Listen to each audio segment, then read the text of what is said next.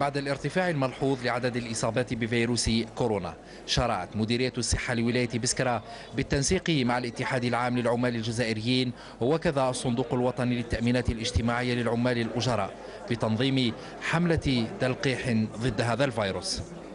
وندعو جميع المواطنين إلى الامتثال لإجراءات الوقاية وكذا أخذ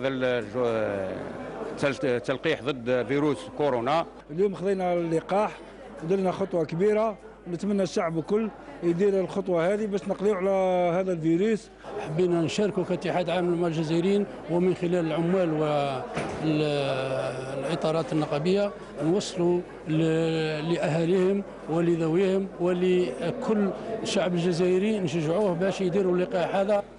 شحنة معتبرة من اللقاح استفادت منها الولاية نظرا للطلب الواسع على اللقاح. إحنا قايمين بعملية واحدة أخرى مع الاتحاد العام للعمال الجزائري اليوم واللي مدة أسبوع كذلك اللي انطلقت اليوم. آه إلى حد الساعة نشوف المواطنين إلى حد الساعة حوالي المسجلين 240 وفيه اقبال نتاع الموظفين. إن شاء الله راح يكون عندهم كذلك برنامج خاص بتطعيم كل الموظفين.